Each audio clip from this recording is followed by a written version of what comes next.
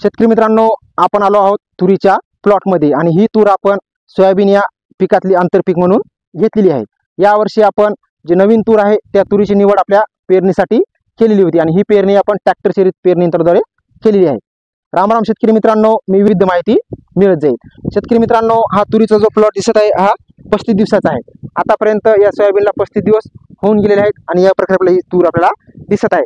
आता ही तूर आपण छोटी नसून आपण या तुरीचे शेंडे खोडलेले आहेत.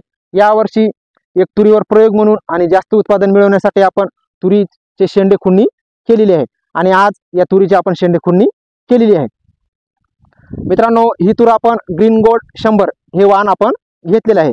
ही तूर आपण एकरी तीन किलो या प्रमाणात ट्रॅक्टर चलित पेरणी यंत्राद्वारे पेरणी केलेली आहे. आता ट्रॅक्टर चलित पेरणी यंत्राद्वारे पेरणी केली असल्या कारणाने काही ठिकाणी एक बी पलडी काही ठिकाणी दोन पलड्या आणि अंतर सुद्धा कमी जास्त झालेलं आहे. अंतर हे चार इंच पाच इंच सहा इंच आणि कुठं कुठं शेंगा लागून बियाणं लागून सुद्धा पडलेलं आहे. तुरीला आपण पेरणीपूर्व जैविक अशी बीज प्रक्रिया सुद्धा केली होती. यासाठी आपण परभणी कृषी विद्यापीठ बायोमिक्स आणि ट्रायकोडर्मा हे ज पावडर स्वरूपातील आणि लिक्विड स्वरूपातील औषध वापरलं होतं. आतापर्यंत या तुरीची उंची साधारणतः एक फूट झाली होती आणि आजच आपण या तुरीची यंत्राद्वारे शेंडा खुडणी सुद्धा केलेली आहे. या तुरीचं वैशिष्ट्य सांगायचं ही तूर लवकर येणारी आहे.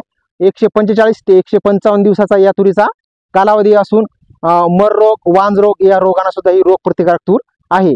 आता यावर्षी विदर्भामध्ये या तुरीचं मोठ्या स्वरूपात शेतकऱ्यांनी लागवड केलेली आहे आणि मागच्या वर्षी उत्पादन सुद्धा घेतलेलं आहे. आणि त्यामुळेच या विदर्भ आणि मराठवाडा या भागामध्ये या तुरीची मोठ्या स्वरूपात लागवड सुद्धा झालेली आहे. आता ही तूर आपण याच वर्षी पेरणी केलेली आहे आणि या तुरीची शेंगधारणा रोगप्रतिकारक शक्ती जे काय आहे ते आपण आपल्या चॅनल मार्फत वेळोवेळी आपल्यापर्यंत पोहोचवणार आहोत. त्यासाठी जर आपण ॲक्टिव्ह ॲग्रिटेक हे चॅनल सबस्क्राईब केलं नसेल तर चॅनलला सुद्धा सबस्क्राईब करून घ्या. मित्रांनो आतापर्यंत या तुरीवर कोणत्याही प्रकारचा रोग तरी आपल्याला दिसलेला नाही. आतापर्यंत या तुरीवर आपण दोन फवारण्या केलेल्या आहेत आणि एक शेंग शेंडा खुडणी सुद्धा आज आपण केलेली आहे. तर मित्रांनो या प्रकारे तुरीची आपण आज शेंडा खुंडी करत आहोत.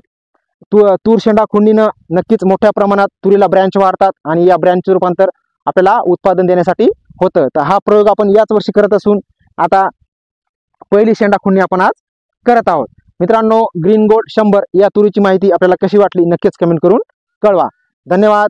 जय जवान जय किसान जय विज्ञान.